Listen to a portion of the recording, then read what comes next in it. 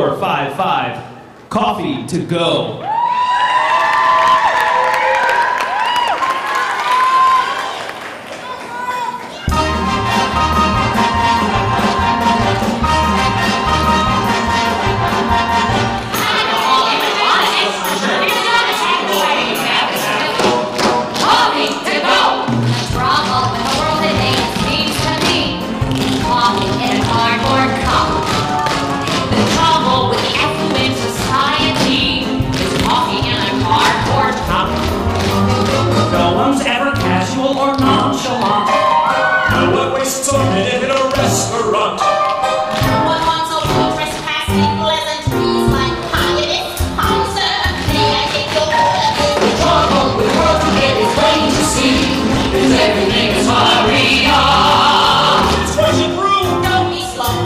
and Nigel and Noah.